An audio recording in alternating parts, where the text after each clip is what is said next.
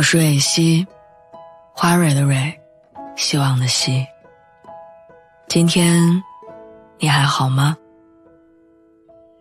不管你在哪儿，也无论你今天经历了什么，我的声音都会一直陪着你。听完今天的故事，祝你晚安，做个好梦。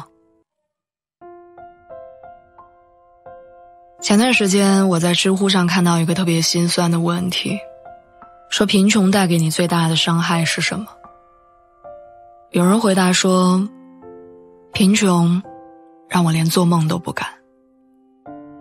以前我总是觉得贫穷跟富有之间隔着的只是余额，长大之后才发现，比贫穷本身更可怕的，是人们会因为贫穷而变得过分小心。是我们连做梦的勇气，都会被贫穷吞噬掉。我的天才女友当中讲述了莉拉和艾莱娜从小到大的成长故事。莉拉她美丽、聪明，有着超强的学习天赋，一直都是艾莱娜模仿和追逐的目标。但就是这样一个所有人都认可的天才少女，却因为家里太穷，父母不想让她继续读书，而被早早辍学。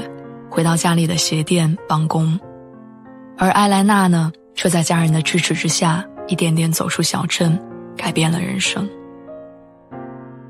今年年初的时候，刷爆无数人朋友圈的后浪演讲告诉我们，所有的后浪都在平等的享受着当代社会的网络信息资源和前浪们留下的经验。但其实这样的话，只是理想主义者们。对真实的幻想，在现实生活当中，大城市里的孩子可以在无数的兴趣班和课内外活动当中自由的选择自己喜欢的东西，而远在山村的孩子们，却在为没有书读而感到苦恼。就像那句话说的：“有人在拼命奔向罗马，有的人就出生在罗马。”生活。从来没有公平二字。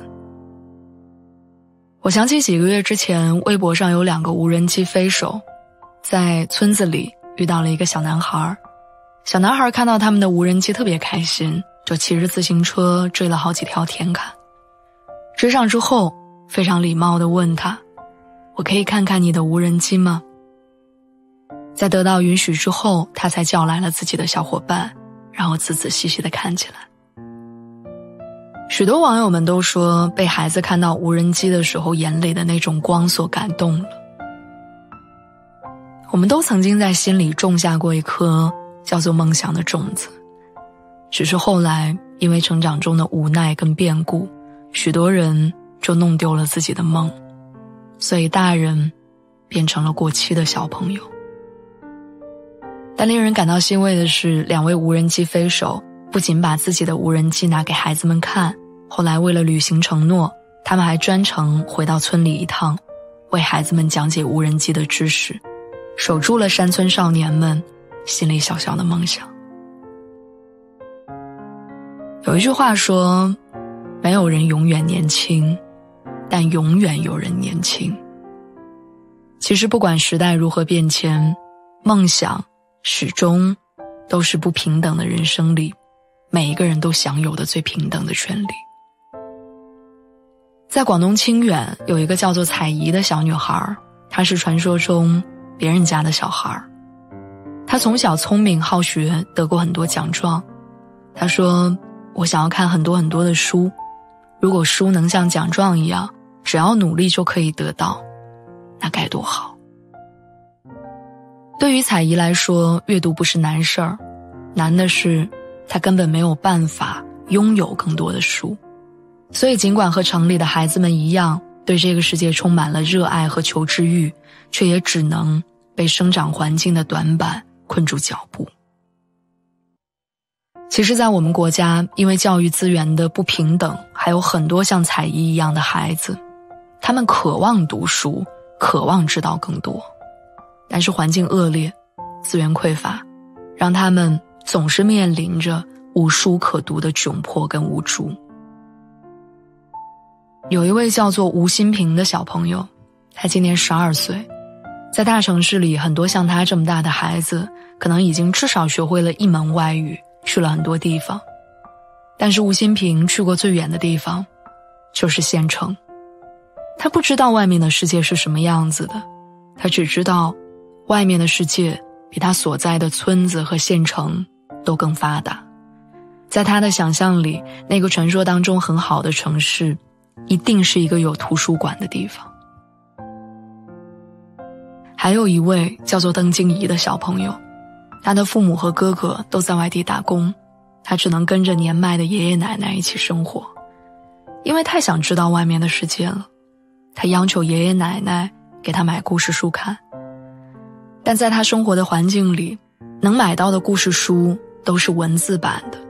所以他只能闭上眼睛，想象树立公主裙的样子。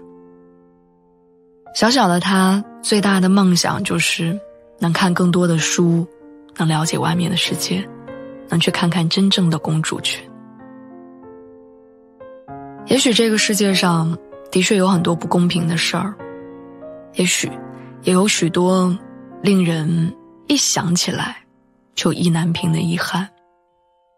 但梦想是没有高低贵贱的，每一个人，不管你是在偏远的山村，还是在车水马龙的都市，你都有做梦的权利。我们并不否认城乡之间的差距，但这种差距，绝对不是不可逾越的鸿沟。也许，捐一本书，并不能立刻改变谁的命运，但当你手里有火把，只要你愿意举起你的火把。就会发现，再微小的光，都能为他人照亮。希望我们永远都是那个手中有火把、心里有光亮的人。亮的人。